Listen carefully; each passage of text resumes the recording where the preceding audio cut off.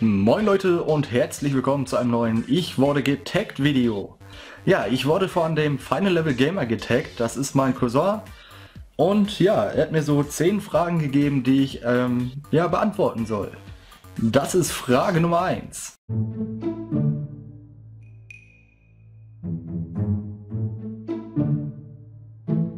Jo, ich bin 22 Jahre alt und wann ich mit dem Zocken angefangen habe, weiß ich gar nicht so genau. Ich glaube irgendwie, ich glaube, ich glaube, ich war so zwischen drei und fünf Jahre alt.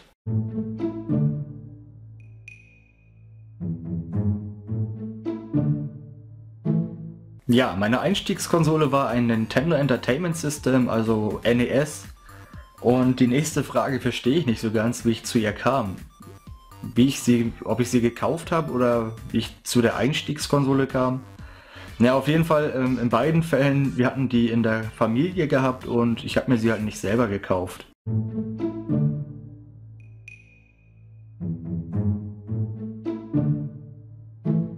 Also als Kind habe ich wirklich sehr, sehr viel gedaddelt. Ähm, NES-Zeiten, Super Mario Bros. 1 bis 3, ähm, Super Nintendo auch ähm, Mario und Zelda.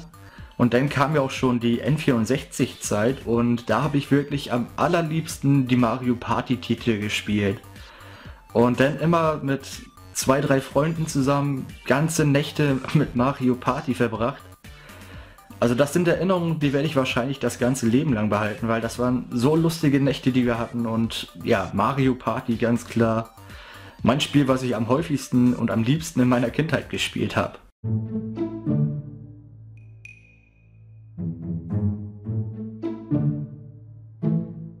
Jetzt wo ich aktuell das Video aufnehme, spiele ich am häufigsten Luigi's Mansion 2 für den Nintendo 3DS, ähm, Lego City Undercover für die Wii U und hin und wieder auch mal ganz gerne Zombie U im Multiplayer-Modus. Das sind so die drei Spiele, die ich aktuell am häufigsten spiele.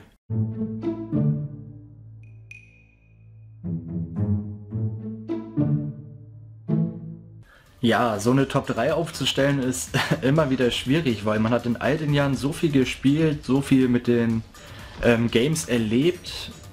Ich müsste jetzt spontan irgendwie was aufstellen. Äh, ich würde einfach mal sagen, auf dem ersten Platz ähm, The Legend of Zelda Skyward Sword, weil es äh, vom Geschichtlichen her jede Menge Preis gibt und es haut einfach rein. Auf dem zweiten Platz Secret of Mana, weil es mein allererstes Rollenspiel war und mega genial rüberkommt. Und auf dem dritten Platz packe ich mal Xenoblade Chronicles, weil der Spielumfang wirklich enorm ist und von der Story her ist es auch mega interessant.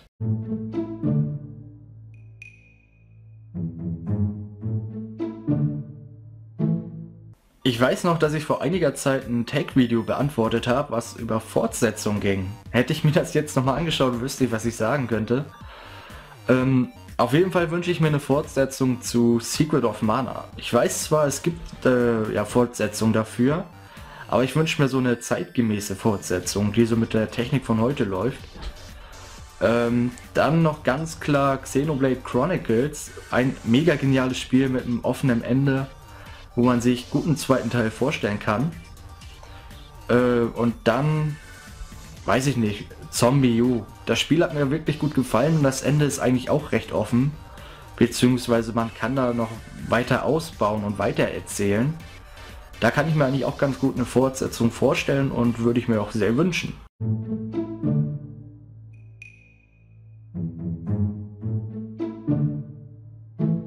Ja, ein Hobby schaut ihr euch zum Beispiel gerade an. YouTube ist ein sehr großes Hobby von mir, wo ich sehr viel Zeit, Liebe und Arbeit reinstecke. Und ja, sonst neben Gaming und YouTube ist auch noch Fotos machen ein großes Hobby von mir. Ich bin sehr oft mit meiner Canon EOS 60D unterwegs und mache spezielle Fotos von kleinen Pappfiguren, die sich Dumbo nennen. Keine Ahnung, ob ihr davon schon mal was gesehen oder gehört habt. Und von da aus komme ich eigentlich auch wieder zu YouTube, zu meinem Zweitkanal, wo ich eigentlich äh, zu meinen Dumbos einige Videos bringen wollte. Zum Beispiel, wo ich die her habe. Ich wollte Fotos zeigen, die ich gemacht habe von denen und dazu dann auch was ähm, sagen, wie es dazu kam und so weiter und so weiter. Aber aktuell habe ich da zwei Videos. Einmal ein Kanaltrailer und ich glaube ein Vorstellungsvideo, wo ich mich einmal kurz vorstelle und erzähle, was ich so für Pläne habe. Ähm, bisher hatte ich keine Lust und Zeit, da was Neues zu machen oder hab's halt vergessen. Ähm, wer sich dafür interessiert, ich verlinke es einfach mal unten in der Beschreibung, da könnt ihr euch den Kanal mal anschauen. Ansonsten, ähm, ja, in der Abo-Box ist er auch nochmal zu finden. Ich glaube, ich werde demnächst echt mal wieder was tun und da ein neues Video bringen.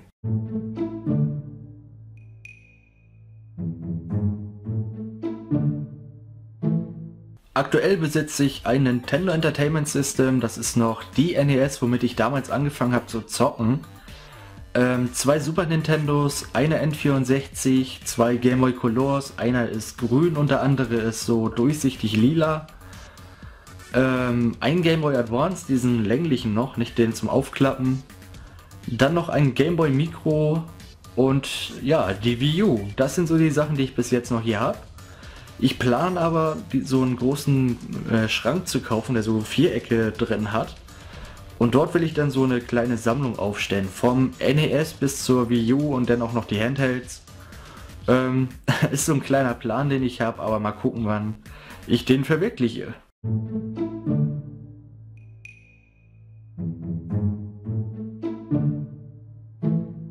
Meine Top 3 Spielserien sehen wie folgt aus. Auf Platz Nummer 3 ist Super Smash Bros. Es ist ein Spiel, was mich immer wieder begeistert und wenn ich höre, es kommt ein neues Smash Bros., ist das wie Ostern, Weihnachten, Geburtstag und alles andere zusammen. Also da freue ich mich jedes Mal drauf.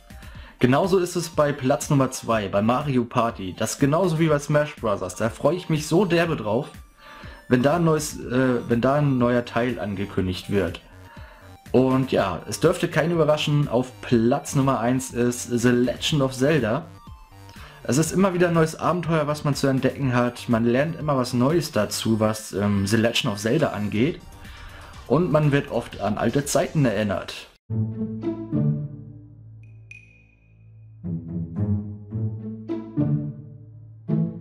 Meine abschließenden Worte sind, ähm, wir Gamer fühlen Sachen, die andere Menschen nicht verstehen und auch niemals fühlen werden. Äh, dieses Gefühl der Vorfreude auf ein Spiel, was ähm, bald rauskommen soll, oder ein Spiel, was wir endlich nach langer Zeit in Händen halten, oder das Gefühl, wenn wir eine neue Konsole auspacken, das sind so Gefühle, die außenstehende Menschen nicht verstehen und auch nicht fühlen werden.